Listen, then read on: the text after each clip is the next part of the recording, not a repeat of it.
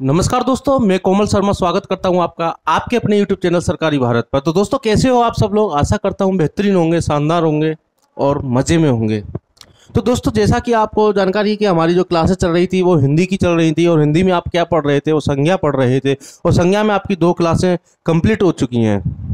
आशा करता हूँ आपको कुछ समझ में आया होगा उसमें। आज हम आपको क्लास थ्री लेकर आए हैं और संज्ञा की जितने भी जो निर्माण है भाववाचक संज्ञा के जो निर्माण है, उनके बारे में आज आपको हम बताएँगे कि भाववाचक संज्ञा का निर्माण कैसे होता है। तो दोस्तों बता दें कि भाववाचक संज्ञा का जो निर्माण होता है, वो कैसे होता है, आज की वीडियो हम इसको समझेंगे। तो सबसे पहले आप लिखिए भाववाचक संज्ञा का निर्माण। एक हेडिंग डालिए और लिखिए भाववाचक संज्ञा का निर्माण। भाववाचक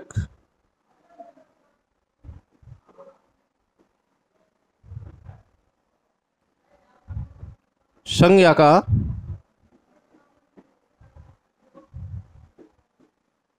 निर्माण। भावाचक संज्ञा का निर्माण कितने प्रकार से होता है, वो आज हम आपको बताएँगे। आपको पिछली क्लासों में आपको बता चुका हूँ कि संज्ञा क्या होती है, संज्ञा के कितने प्रकार होते हैं और किस मूल रूप से कितने होते हैं, आधुनिक हिंदी के हिसाब से कितना होता है और प्राचीन हिंदी के हिसाब से कितने प्रकार होते हैं, संज्ञा के मैं आपको पिछली वीडियो में बता चुका हूँ और जितने प्रकार होते हैं उनके बारे में आपको डेफिनेशन सहित, उदाहरण सहित आपको पूरी संज्ञा के बारे में बता चुका हूँ। अब आपकी जो चलेगी, वो चलेगी कि भाववाचक संज्ञा का निर्माण कितने प्रकार से होता है और किस किन से कैसे होता है। तो सबसे पहले आपने लिखा भाववाचक संज्ञा का निर्माण। तो सबसे पहले इसमें लिखते हैं हम भाववाचक संज्ञा का निर्माण कितने प्रकार से होता है। तो दोस्तों भाववाचक संज्ञा का जो निर्माण होता है, वो आपको बताते हैं वो पाँच प्रकार से होता है। कितने प्रकार से होता है मेरे मित्र? पाँच प्रकार से भाववाचक संज्ञा का निर्माण होता है। वो पाँच प्रकार कौन कौन से हैं, वो आप यहाँ पर देख सकते हैं। भाववाचक संज्ञा का निर्माण, भाववाचक संज्ञा का निर्माण, भाववाचक संज्ञा का निर्माण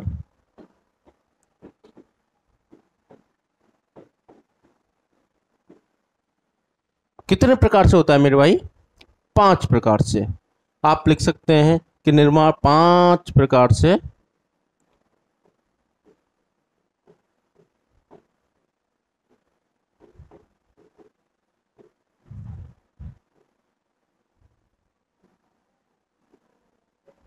पाँच प्रकार से होता है। कितने प्रकार से होता है मित्र? पाँच प्रकार से होता है। वो पाँच प्रकार कौन कौन से हैं? वो आप यहाँ पर देखिए। सबसे पहले आता है आपका विशेषण से। किससे मेरे भाई? विशेषण से। नंबर एक लिखिए कि आप पहला भाववाचक संज्ञा निर्माण किससे होता है? विशेषण से। किससे होता है मेरे भाई? विशेषण से। जो दूसरा होता है वो किससे होता है? वो होता है आपका क्रिया से। किससे होता है मेरे भाई? क्रिया से। और तीसरे नंबर पे आप ले सकते हैं, जो तीसरा जो होता है, वो किससे होता है आपका? जातिवाचक संज्ञा से। किससे होता है मेरे भाई? जातिवाचक संज्ञा से।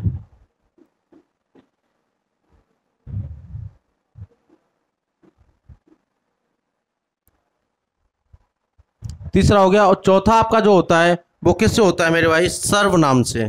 किससे होता है? सर्वनाम से। सर्व नाम से। और पांचवा आपका जो लास्ट होता है, वो होता है आपका अव्यय से। किससे होता है मेरे भाई? अव्यय से। अव्यय?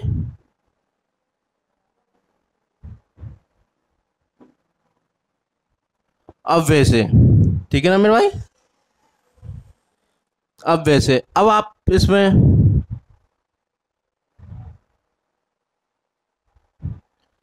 अब आप इसमें देख सकते हैं कि भाववाचक जो संज्ञा का निर्माण होता है, वो पाँच प्रकार से होता है। एक नंबर एक विशेषण से, नंबर दो क्रिया से, नंबर तीन जातिवाचक संज्ञा से, और नंबर चार सर्वनाम से, और फिर होता है आपका अव्यय से। किससे होता है मेरे भाई? अव्यय से। अब जो नेक्स्ट पॉइंट आपका जो आता है वो आएगा आपका कि विशेषण से। अब हम इसको बताएँगे, विशेषण से किस प्रकार होता है, क्रिया से किस प्रकार होता है, और जातिवाचक संज्ञा से किस प्रकार होता है, सर्वनाम से किस प्रकार होता है, अव्यय से किस प्रकार होता है, वो आपको इस वीडियो में हम बताते हैं।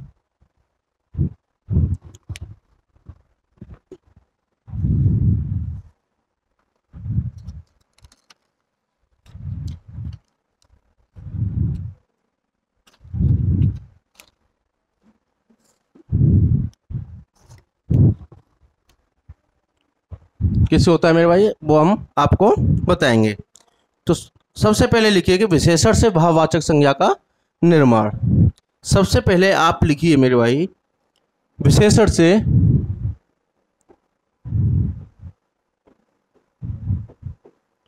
विशेषण से भाववाचक संज्ञा का निर्माण। भाववाचक संज्ञा का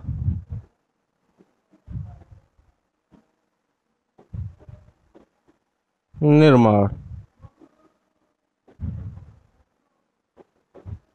पहला क्या आता आपका मेरे भाई? विशेषण से भाववाचक संज्ञा का निर्माण किस प्रकार होता है, वो आपको मैं यहाँ पे एक सरल रूप से बताऊँगा।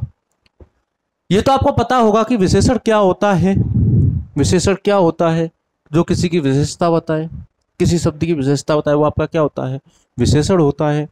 भाववाचक संज्ञा में आपको बता चुका हूँ, जो अदृश्य होती है, एक वचन होती है। ठीक है ना मेरे वो आपकी क्या होती है? भाववाचक संज्ञा, जिसे देखा नहीं जा सकता। तो विशेषण से भाववाचक संज्ञा का निर्माण किस तरह होता है? तो मैं कुछ उदाहरण आपको यहाँ पर दूँगा। कुछ उदाहरण है इसके, जिनके माध्यम से मैं आपको समझाऊँगा। तो वो उदाहरण आप देखिए कौन कौन से हैं? नंबर एक आप ले लीजिए, जैसे मैंने लिया सरल। सरल। तो आपका सरल क्या है? सरल क्या है? सरल आपका क्या है? विशेषण है। क्या है मेरे भाई? विशेषण है। विशेषण कैसे? मैंने बताया ना, जो किसी शब्द की विशेषता बताए वो आपका क्या होता है? विशेषण होता है। विशेषण आपका अभी आएगा नेक्स्ट टॉपिक विशेषण आएगा, क्रिया आएगा, अव्यय आएगा, सब कुछ मैं आपको अभी विस्तार पूर्वक आगे टॉपिक वाइज पढ़ाऊँगा। लेकिन जैसे मैंने बताया, सरल। तो सरल क्या है? जो विशेषता होता है, जैसे मैं कह दूँ, वो बहुत ही सरल स्वभाव का व्यक्ति है। तो कैसा, कैसे स्वभाव का व्यक्ति है? सरल। मैं उसकी क्या बता रहा हूँ? विशेषता बता रहा हूँ। व्यक्ति की कैसे बता रहा हूँ? विशेषता बता रहा हूँ कि सरल स्वभाव का है। तो आपका जो विशेषता बताए वो आपका विशेषण होता है। अगर सरल से मैं भावाचक संज्ञा का निर्माण करूँ, विशेषण से भावाचक संज्ञा का निर्माण करूँ तो सरल से आपका जो भावाचक संज्ञा निर्माण होगा, वो क्या होगा? हम भावाचक संज्ञा क्या लिख सकते हैं? तो भावाचक संज्ञा हम लिख सकते हैं सरलता। क्या लिख सकते हैं मेरे मित्र? सरलता। क्या लिख सकते हैं मेरे भाई? सरलता। सरलता को आप देख सकते हो? नहीं देख सकते। सरल मैंने आपको विशेषता बताई विशेषण की, लेकिन सरलता सरलता ये क्या होगी आपकी? मैं किसी का भाव गुण दोष कुछ बता तो रहा हूँ। कैसी है? सरलता। तो ये क्या हुई? भाववाचक संज्ञा जिसको नहीं देख सकते अदृश्य। ठीक है ना मेरे भाई? और दूसरा उदाहरण अगर हम लेंगे तो दूसरा उदाहरण आप ले सकते हैं जैसे मैंने लिया। जैसे मैंने लिया। भला। क्या ले सकते हैं आप? भला। भलाई। भला। बड़ा ही भला व्यक्ति है। कैसा है व्यक्ति? भला। विशेषता बता रहे ना व्यक्ति की। लड़का कैसा भला, बड़ा बड़ा, भला लड़का है। भाई, भला लड़का है, विशेषता बता रहे हैं। अगर इसका हम भावचक संज्ञा निर्माण करेंगे तो क्या हो जाएगा इसका? ई लगा करके इसका क्या हो जाएगा? भलाई। क्या हो जाएगा मेरे भाई? भलाई। ठीक है ना? ठीक इसी प्रकार हम और भी उदाहरण ले सकते हैं। जैसे हम ले सकते हैं, डरावना। क्या ले सकते हैं? डरावना। डरावना लिया। वो बड़ा डरावना ही जानवर है। डरावना जानवर है। कैसा जानवर? डरावना। और डर लगता है इससे। भाई, डरावना जानवर है। विशेषता बता रहे हैं, जानवर कैसा है? डरावना। भावाचक से बनाएँगे तो क्या हो जाएगा? डरावना का क्या होगा? डरावना का जो होगा, आपका वो होगा डर। क्या होगा मेरे भाई? डर। इसी प्रकार हम और भी ले सकते हैं। जैसे हमने लिया कुटिल। क्या लिया? कुटिल। कुटिल आप ले सकते हैं और कुटिल को आप क्या लिख सकते हैं? कुटिलता। क्या लिख सकते हैं मेरे भाई? कुटिलता। कुटिलता। तीसरा आप ले सकते हैं। जैसे मैंने लिया युवा। क्या ले सकते हैं आप? युवा। और युवा को कैसे लिख सकते हैं आप? यौवन। क्या लिख सकते हैं? यौवन। क्या लिख सकते हैं? यौवन। युवा व्यक्ति व्यक्ति कैसा है? युवा है। लेकिन मैं करता हूँ यौवन। तो ये उसकी अवस्था बता रहा है। क्या बता रहा है? अवस्था बता रहा है। व्यक्ति कैसा? व्यक्ति क्या बता रहा है? अवस्था बता रहा है। और अवस्था हमेशा किसमें आती है? आपकी भाववाचक संज्ञा में अवस्था बताई जाती है, जिसकी अवस्था बताई जाए, गुणदोष बताया जाए, वो क्या होता है? हमारा भाववाचक संज्ञा होता है। क्या होता है मेरे भाई? भाववाचक संज्ञा होता है। और मैं लिख सकता हूँ यहाँ पे बड़ा। क्या लिख सकता हूँ मेरे भाई? बड़ा। बड़ा को हम लिख सकते हैं बड़प्पन। क्या लिख सकते हैं मेरे भाई? बड़प्पन। क्या लिख सकते हैं मेरे भाई? बड़प्पन।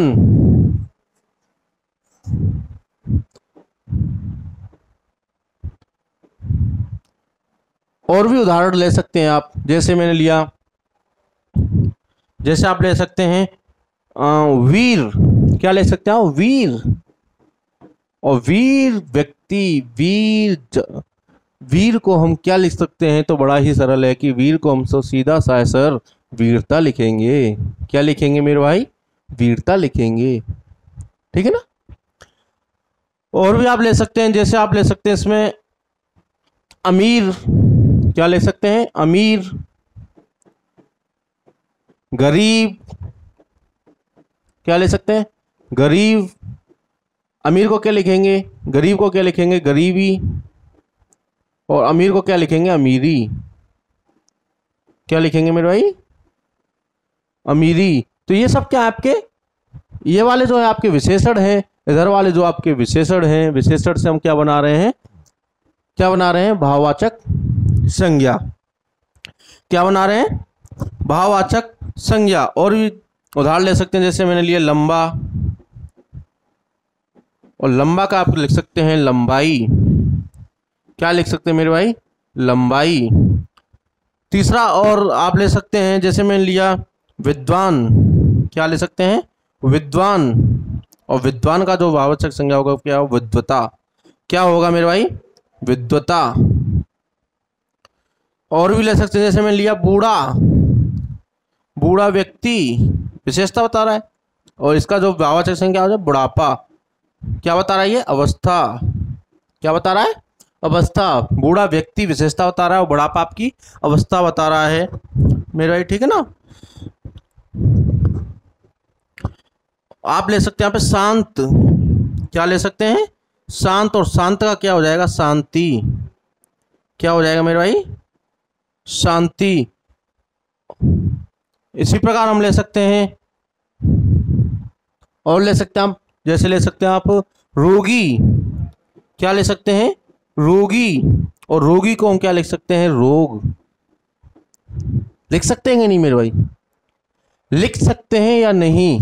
बिल्कुल लिख सकते हैं सर, क्योंकि हम विशेषण से भावाचक संज्ञा निर्माण कर रहे हैं और भावाचक संज्ञा में हमने पढ़ रखी है कि भावाचक संज्ञा अध्यक्ष होती है, जो भाव, गुण, दोष और अवस्था को बताती है, उसे हम भावाचक संज्ञा कहते हैं। विशेषण वो होता है जिसकी हम विशेषता बताता है कोई शब्द जिसकी विशेषता बताई जाए, वो आपकी क्या होती है? विशेषण होता है। तो सबसे पहले अब आता है आपका दूसरा और ले सकते हैं जैसे हम ले सकते हैं भूखा। क्या ले सकते हैं मेरे भाई? भूखा।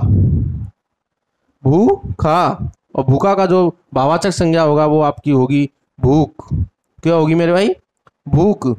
इसी प्रकार हम और भी ले सकते हैं, जैसे लिया हमने। ठंडा। गर्मियों में खूब ठंडा पीते हो मेरे भाई। ठंडा? अबे ठंडी कोल्ड ड्रिंक पीते हो, ठंडा पानी पीते हो गर्मियों में। सर्दियों में पीते हो? नहीं पीते। तो क्या पीते हैं? ठंडा पानी। क्या बता रहा है? पानी की विशेषता बता रहा है। ठंडा। पानी कैसा है? ठंडा। कोल्ड ड्रिंक ठंडी कोल्ड ड्रिंक लाना भाई। ठंडी कोल्ड ड्रिंक पियोगे? वह ठंडी कोल्ड ड्रिंक पियोगे तो कोल्ड ड्रिंक की विशेषता बताई जा रही है कैसी है? ठंडी है। तो इसकी हम भावाचक संज्ञा बनाएँगे तो ठंडा का हम भावाचक संज्ञा क्या कर सकते हैं? तो भावाचक संज्ञा सीधा सा फंडा है, माँ साहब। ठंडा का तो हम सीधा लिखेंगे ठंडक। भाई, ठंडा पियोगे तभी तो आपको ठंडक मिलेगी। मिलेगी कि नहीं मेरे भाई? ठंडा पीने के बाद ही तो ठंडक मिलेगी। तो सीधा सा फंडा है मेरे भाई कि भावाचक संज्ञा बनाने के लिए हम उसमें क्या कर देंगे? ठंडक लिख देंगे। क्या लिख देंगे मेरे भाई? ठंडक लिख देंगे। पीला। पीला ले सकते हो आप। और पीले की भावाचक संज्ञा क्या करेंगे? पीलापन, क्या करेंगे? पीलापन। और भी उदाहरण ले सकते हैं आप, जैसे ले सकते हैं आप स्वस्थ और स्वास्थ्य। स्वस्थ, स्वास्थ्य। बहुत सारे ऐसे उदाहरण हैं, आप जिनका विशेषण से भावाचक संज्ञा बना सकते हैं। ठीक है ना मेरे भाई? ऊँचा ले सकते हैं, ऊँचा की ऊंचाई हो जाएगी। ठीक है ना? बहुत सारे ऐसे उदाहरण हैं। अब आपका आता है नेक्स्ट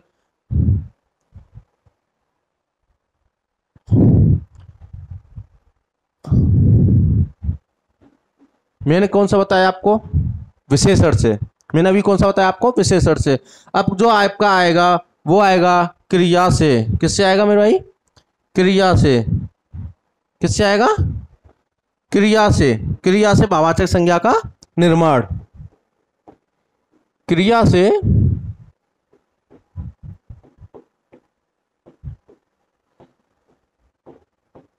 भाववाचक संज्ञा का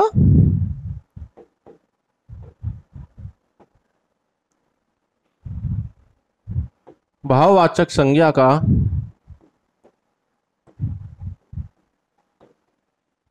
निर्माण। भाववाचक संज्ञा का निर्माण। दूसरा क्या आता आपका मेरे मित्र? क्रिया से भाववाचक संज्ञा का निर्माण। अब क्रिया आपको पता है? नहीं पता है तो क्रिया क्या होती है? क्रिया होती है जिससे किसी कार्य का होना पाया जाए। क्या होना पाया जाए? कार्य का होना पाया जाए। वो आपकी क्या होती है? क्रिया होती है। क्या होती है मेरे भाई? क्रिया होती है। इसके हम कुछ उदाहरण लेकर लिखें, इसके हम अगर कुछ उदाहरण लेकर लिखें तो क्या होंगे मेरे भाई? कुछ उदाहरण आप।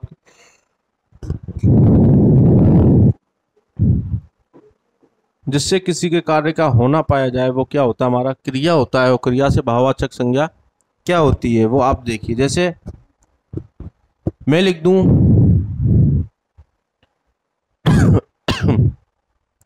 हंसना। हंसना आपकी क्या हुई? है क्रिया हुई। क्या हुई मेरे भाई? हंसना आपकी हुई क्रिया। क्या हुई? क्रिया। हंसना क्या हुई आपकी? क्रिया। अगर इसको हम भावाचक संज्ञा बनाएँगे तो क्या बनाएँगे? तो इसका हम जो भावाचक संज्ञा बनाएँगे हंसना की, वो आपकी बनेगी।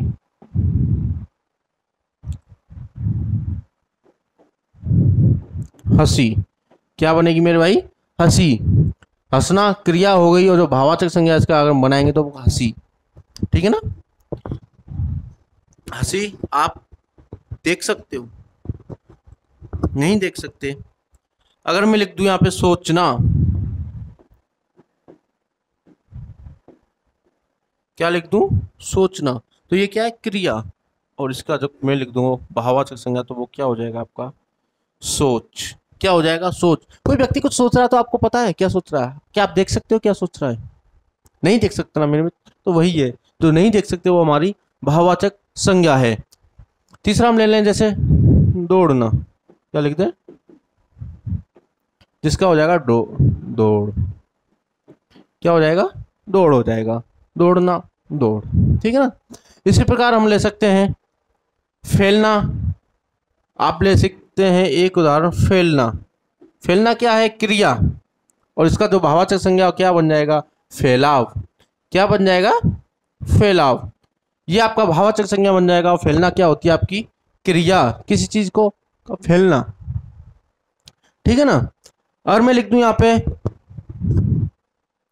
उड़ना। क्या लिख दूँ मेरे भाई? उड़ना। तो उड़ना का जो भावाचक संज्ञा क्या होगा? वो होगा आपका उड़ाव। क्या होगा मेरे भाई? उड़ाव। मैं अगर लिख दूँ यहाँ पे? उभरना। क्या लिख दूँ? उभरना। तो उभरना का जो भावाचक संज्ञा होगा, वो क्या होगा? उभर, उभार। क्या हो जाएगा? उभार। ठीक है ना मेरे मित्र? समझ आ रहा है ना? उभरना का क्या हो जाएगा? उभरना का हो जाएगा आपका उभर। मैं लिख दूँ जैसे यहाँ पे बनावट। क्या लिख दूँ? बनना। और बनना का जो आप आवश्यक संज्ञा होगा, वो क्या होगा आपका? बनावट। क्या हो जाएगा? बनावट। इसी प्रकार हम ले दूँ, झुकना। झुकना। तो झुकना का क्या हो जाएगा आपका? झुकाव। झुकना। और झुकना का क्या हो जाएगा आपका भावाचक संज्ञा? झुकाव। क्या हो जाएगा? झुकाव। क्या हो जाएगा मेरे भाई? झुकाव।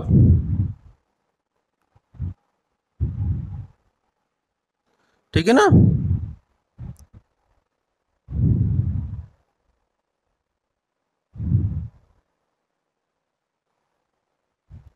और भी उदाहरण होते हैं, इसके बहुत सारे ऐसे उदाहरण होते हैं, जिन्हें हम क्रिया क्रिया से भावाचक संज्ञा का निर्माण कर सकते हैं। जैसे आप लिख सकते हैं, चमकना। चमकना का क्या हो जाएगा? चमक। चमकना क्या हो जाएगा? चमक। इसी प्रकार हम ले सकते हैं मिलना। मिलना और मिलावट। मिलना का क्या हो जाएगा? मिलावट। मिलावट इसी तरह एक हो सकता है, मिलना मिलावट। ऐसे सजना, सजावट। ऐसे बहुत सारे उदाहरण हैं जिसे हम क्रिया से भावाचक संज्ञा का निर्माण कर सकते हैं। थकना, थकान। थकना का थकान। और आपका ऐसी हो सकता है खेलना, खेल खेलना, खेल हो सकता है। बहुत सारे उदाहरण हैं। ठीक है ना? तीसरा आता है आपका जातिवाचक संज्ञा से। जातिवाचक संज्ञा से जातिवाचक संज्ञा से भाववाचक संज्ञा का निर्माण। भाववाचक संज्ञा का निर्माण। अब आपने देखा होगा कि जातिवाचक संज्ञा भी मैं आपको बता चुका हूँ। जातिवाचक संज्ञा भी मैं आपको बता चुका हूँ। क्या बताया मैंने जातिवाचक संज्ञा में? दृश्य, जिसे हम देख सकते हैं, प्लस बहुवचन। क्या बताया था मैंने आपको? बहुवचन हो, जो सब बहुवचन होते हैं, वो हमारे किसमें आते हैं? जातिवाचक संज्ञा में आते हैं। ठीक है ना? और जिसके जैसे और हों। जिसके जैसे और हों, वो हमारे क्या होते हैं? जातिवाचक संज्ञा होते हैं। तो जातिवाचक संज्ञा से भाववाचक संज्ञा का निर्माण किस प्रकार होता है, वो आप यहाँ पर उदाहरण सहित देख सकते हैं। तो क्या क्या होते हैं मेरे मित्र? वो आप यहाँ देखिए। जातिवाचक संज्ञा। जातिवाचक संज्ञा मैंने आपको बताई थी ना? तो क्या हो सकता है? जैसे मैं लिख दूँ, इंसान। क्या लिख दूँ? इंसान। इंसान को आप देख सकते हो ना? देख सकते हो या नहीं देख सकते हो? तो जी हाँ सर, हम इंसान को देख सकते हैं। लेकिन भावाचक संज्ञा में हम अगर इंसान का करें तो क्या होगा? इंसान का क्या होगा? इंसान का होगा इंसानियत। क्या होगा प्यारे बच्चों? इंसानियत। तो आप इंसान को देख सकते हो, लेकिन इंसानियत को नहीं देख सकते। तो इंसान को देख सकते हो तो वो आपकी जातिवाचक संज्ञा होगी, जो दृश्य हो, बहुवचन हो। इंसान इंसान भी बहुत सारे होते हैं तो इसलिए क्या होगा वो? जातिवाचक संज्ञा होगी। लेकिन इंसानियत इंसानियत को आप देख सकते हो, नहीं देख सकते तो वो आपकी किसमें आएगी? भाववाचक संज्ञा में आएगी। तो इंसान का क्या हो जाएगा आपका? इंसानियत।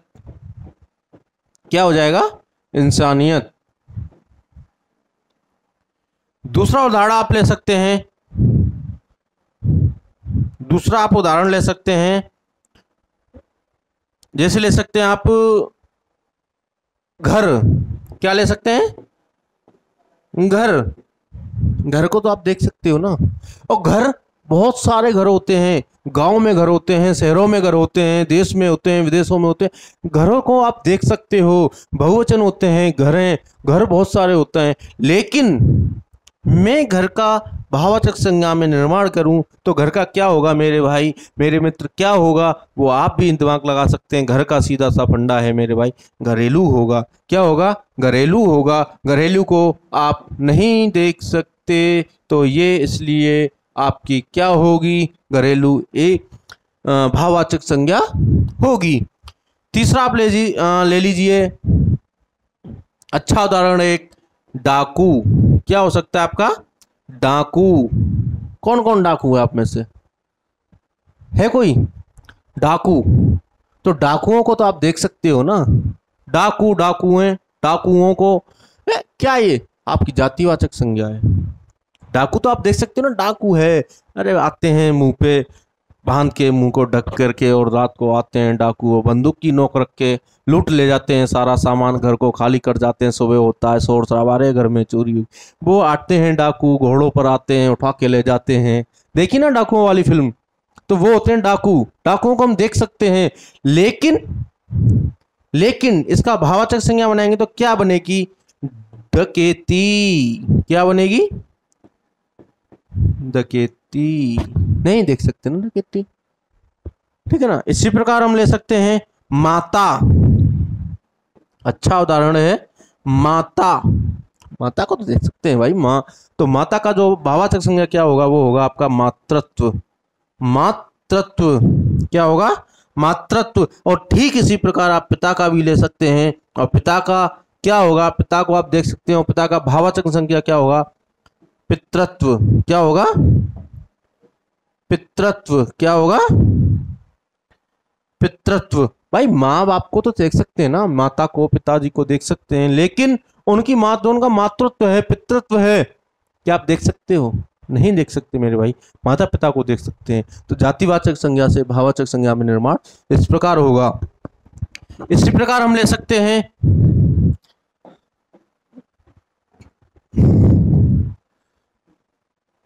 दोस्त। क्या ले सकते हैं? दोस्त। दोस्त तो बहुत सारे होंगे आपके दोस्त तो। ये सरो कि दोस्त तो बहुत सारे होते हैं, दोस्तों को तो आप देख सकते हैं, ये मेरा वो दोस्त है, ये मेरा वो दोस्त है, ये फलाना दोस्त है। लेकिन इसका भावाचक संज्ञा हम निर्माण करें तो क्या होगा? दोस्ती। क्या होगा मेरे भाई? दोस्ती। लेकिन आप दोस्त को देख सकते हैं, लेकिन दोस्ती को नहीं देख सकते मेरे मित्र, नहीं देख सकते। अब इसका आता है एक और उदाहरण आप ले सकते हैं, तपस्वी। क्या ले सकते हैं? तपस्वी। तपस्वी को आप देख सकते हैं। देख सकते हैं या नहीं? जी हाँ सर, तपस्वी को देख सकते हैं, लेकिन जो तपस्वी तप करता है, उस तप को हम माँ साहब नहीं देख सकते। तो इसलिए तप इसमें क्या हो जाएगा? भाववाचक संज्ञा हो जाएगा। क्या हो जाएगा मेरे भाई? भाववाचक संज्ञा हो जाएगा। एक और उदाहरण आप ले सकते हैं, चिकित्सक। क्या ले सकते हैं? चिकित्सक। क्या ले सकते हैं? चिकित्सक। और चिकित्सा का तो सीधा सा आप सबको पता होगा, क्या हो जाएगा मेरे भाई? चिकित्सा। क्या हो जाएगा? चिकित्सा। क्या हो जाएगा? चिकित्सा। एक और उदाहरण आप ले सकते हैं, ठग। क्या ले सकते हैं? ठग। और ठग का क्या हो जाएगा? ठगी। क्या हो जाएगा? ठगी। ठीक है ना? तो ये आपके बहुत सारे ऐसे उदाहरण हैं, जिन्हें हम जातिवाचक संज्ञा से भाववाचक संज्ञा का निर्माण कर सकते हैं। ब्रह्मचर्य हुआ। क्या हुआ? ब्रह्मचर ब्रह्मचर आपका भाववाचक संज्ञा हुआ, लेकिन इसकी जातिवाचक संज्ञा क्या हुई? ब्रह्मचारी। जो जातिवाचक संज्ञा है ब्रह्मचारी तो उसका भाववाचक संज्ञा में निर्माण करेंगे तो क्या होगा? ब्रह्मचारी का क्या होगा? ब्रह्मचर्य। अरे ब्रह्मचारी को तो आप देख सकते हैं, लेकिन ब्रह्मचर्य नहीं देख सकते। ठीक है ना मित्र? आशा कर रहा हूँ समझ में आ रहा होगा। और समझ में आ रहा हो तो वीडियो को लाइक करें, चैनल को सब्सक्राइब करें और वीडियो को शेयर करें। तीन आपके हो चुके अब आता है आपका चौथा नंबर आता है आपका सर्वनाम से। सर्वनाम से भाववाचक संज्ञा का निर्माण। सर्वनाम से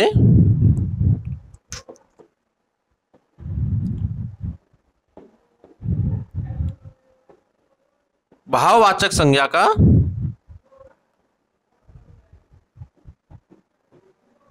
सर्वनाम से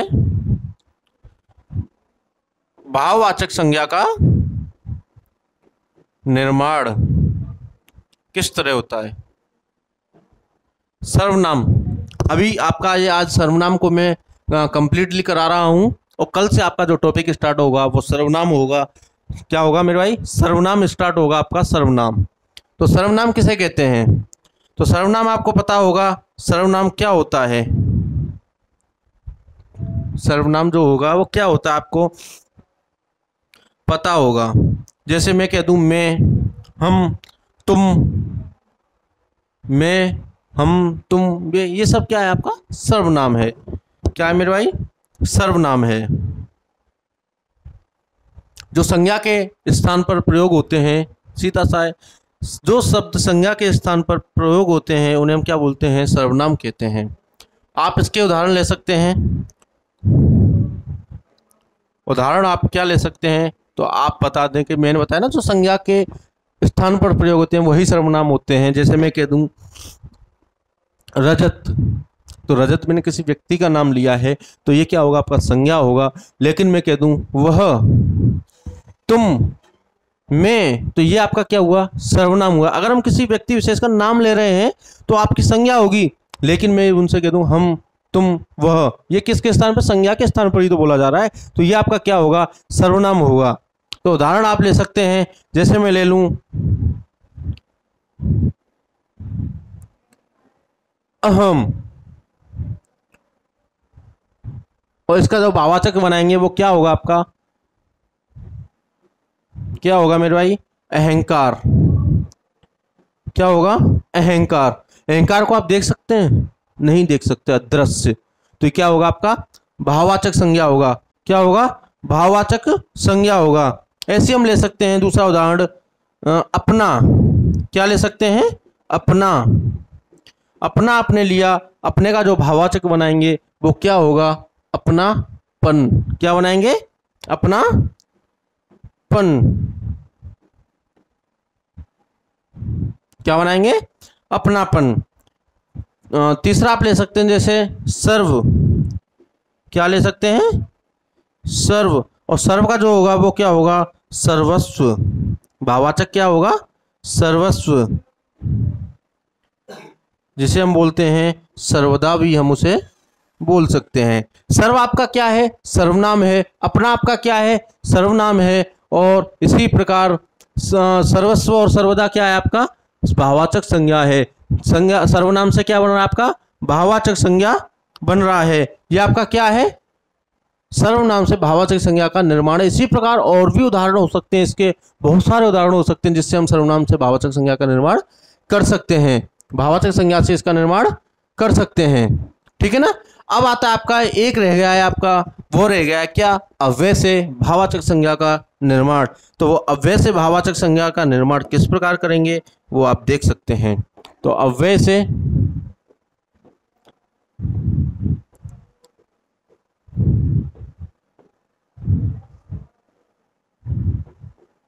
भाववाचक संज्ञा का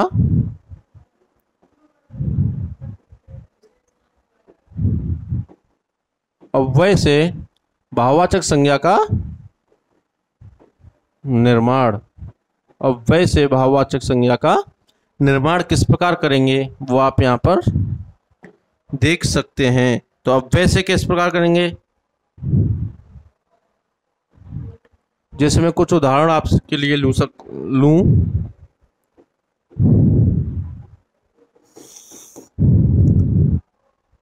उदाहरण जैसे मैं ले दूँ, अधिक।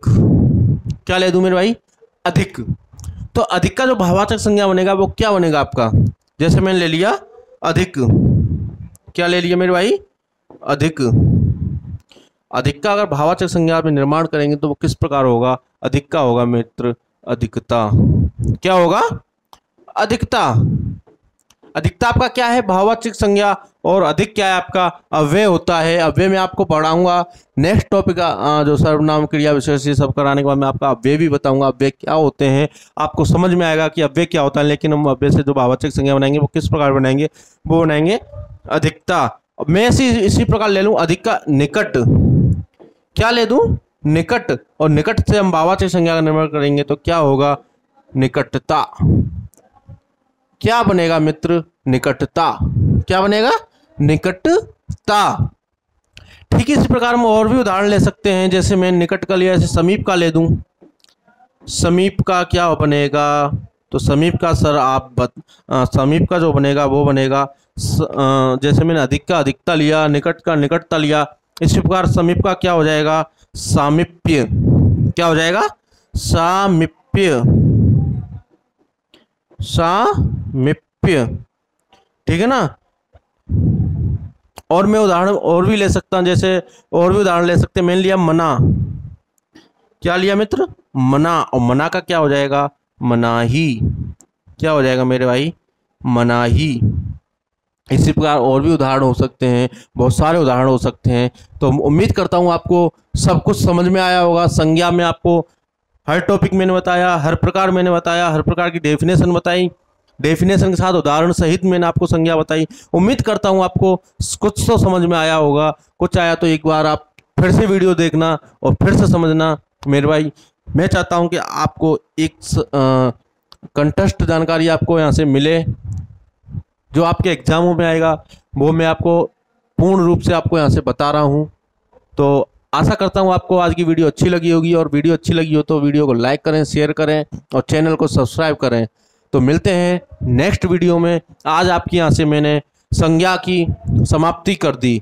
यहाँ से आपका संज्ञा की ये सबसे लास्ट संज्ञा की लास्ट क्लास थी और इसमें आपकी संज्ञा समाप्त हो गई है। अगर आपको संज्ञा के रिगार्डिंग संज्ञा के रिगार्डिंग आपको कोई भी क्वेश्चन पूछना हो तो आप कमेंट सेक्शन में अपना क्वेश्चन पूछ सकते हैं, जिसका जवाब आपको तुरंत दे दिया जाएगा।